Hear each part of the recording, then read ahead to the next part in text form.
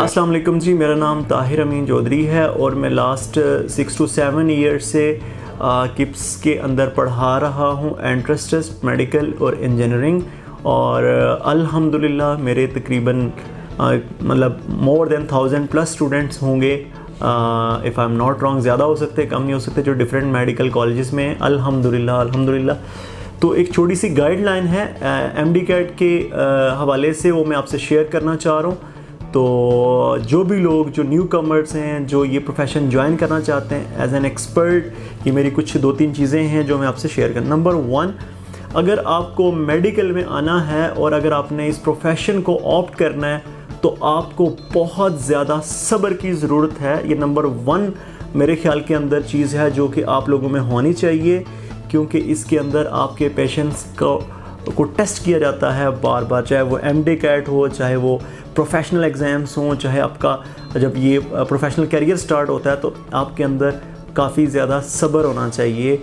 Second चीज़ ये है कि कंटिन्यूस स्ट्रगल आप किसी भी पॉइंट पर गिव अप नहीं कर सकते, क्योंकि आपको बहुत ज़्यादा मेहनत करनी है। आपने बहुत से लोगों को कम्पीट करना है बट अगर आप कंटिन्यूस स्ट्रगल करने वाले हैं तो आप ये अचीव कर सकते हैं।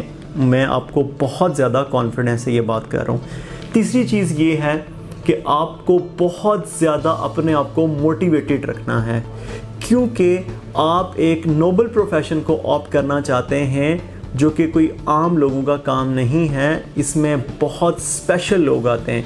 तो इसके लिए आपको कंटिन्यूस मोटिवेशन की ज़रूरत है। जितनी ज़्यादा आपके अंदर मोटिवेशन होगी और जितनी ज़्यादा आपके अंदर मतलब लगन होगी और आप काम करना चाहते होंगे, आप इतनी आसानी से अपना टारगेट जो है वो अचीव कर सकते हैं। ये दो तीन चीज़ें मैंने आपको बताई।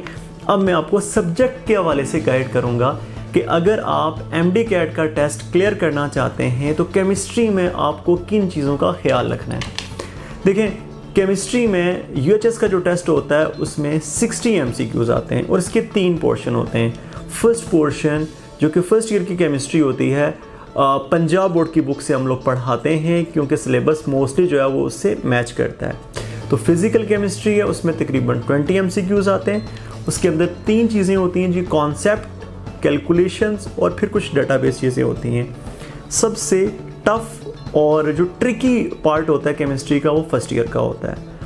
आप लोगों को मेरी एडवाइस ये है कि टेक्स्ट बुक को जितना आप रीड कर सकते हैं, आप करें। हर यूनिट के अंदर, जिस तरह कि हमने फ़र्स्ट ईयर को सिक्स यूनिट्स में डिवाइड किया होता है और हर यूनिट को आपने लेक्चर्स पहले लेने हैं, फिर आपने उन नोट्स को पढ़ना है, फिर टेक्स्ट बुक को पढ़ना है। मेरा जो सेवन ईयर का एक्सपीरियंस है, मैं आप लोगों को ये बताऊँगा कि आप लोगों को कुछ एक्स्ट्रा करने की ज़रूरत नहीं है।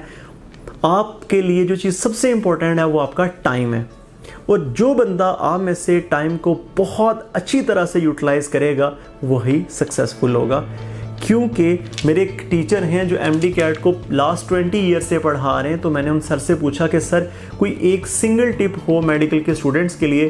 तो उनका कहना था कि, ताहिर, इन बच्चों को ये पता अगर लग जाए कि क्या नहीं पढ़ना तो इनका बहुत फ़ायदा होगा। तो आपने फजूल एक्स्ट्रा टॉपिक्स नहीं करने, जो यूएचएस का सिलेबस है, उसको डाउनलोड करें, अपने साथ रखें और उस टॉपिक को टेक्स्ट बुक से पढ़ें और अपने नोट से पढ़ें और प्रैक्टिस करें। कोई ज़रूरत नहीं है आपको चार चार, पाँच पाँच, छः छः बुक्स लेने की। अगर आप ये करते हैं तो फ़िज़िकल आपकी हो जाएगी। सेकेंड पोर्शन जो है, वो इनऑर्गेनिक है, जिसमें से टेन एम आते हैं। ये फेडरल की बहुत ज़्यादा लेंथी है इनऑर्गेनिक नहीं है। ना ही ये पंजाब बोर्ड के जो सिक्स चैप्टर की इनऑर्गेनिक है बहुत शॉर्ट से टॉपिक्स हैं। सिर्फ़ और सिर्फ़ आप लोग यूएचएस का सिलेबस देखें, आप पास्ट पेपर से भी हेल्प ले सकते हैं और फिर उन टॉपिक्स को पढ़ें। ये सारी चीज़ें याद करने वाली हैं। कोई दो चार चीज़ें हैं कॉन्सेप्चुअली अदरवाइज़ इसके अंदर कोई भी ऐसी चीज़ नहीं है जो कि आप कहेंगे कैलकुलेशन बेस्ड कोई भी चीज़ नहीं है तो इनऑर्गेनिक आप याद कर सकते हैं। थर्ड सबसे इंपॉर्टेंट आपका पार्ट है, इसमें से थर्टी एम सी आते हैं केमिस्ट्री में से। और वो है ऑर्गेनिक ऑर्गेनिक के लिए मैं बच्चों को एडवाइस ये करता हूँ कि कभी भी आप एक टाइम में सारी ऑर्गेनिक मत पढ़ें। मुझे अक्सर बच्चे कह रहे होते हैं, सर कॉन्सेप्ट मिक्स हो जाते हैं आपस में। क्योंकि समझते नहीं हैं बच्चे। तो आप चीज़ों को अंडरस्टैंड करें और एक सीक्वेंस के साथ पढ़ें।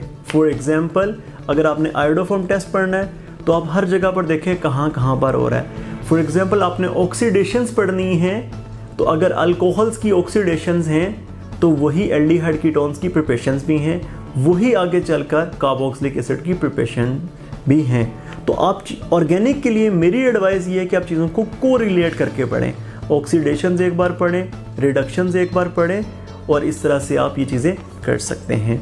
फिर मैं रिपीट करूँगा आखिर पे आप लोगों को कि आपको केमिस्ट्री की बेस्ट प्रिपरेशन का वे ये है कि आप लोग एक यूनिट ऑर्गेनिक का पढ़ लें एक इनऑर्गेनिक का पढ़ लें, फिर फ़िज़िकल का। फिर ब्रेक्स में पढ़ें।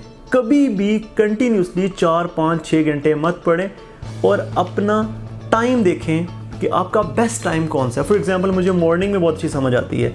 जो रात को मैं चार घंटों में करता हूँ, सुबह को मैं टू आवर्स में कर सकता हूँ।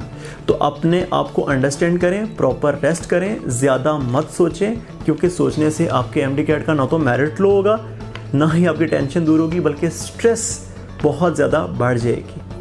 और आखिर पे यही एडवाइस है कि डेली का काम डेली करें अदरवाइज़ ये चीज़ स्ट्रेस काज करेगी और फिर आप अपने टारगेट से दूर चले जाएँगे।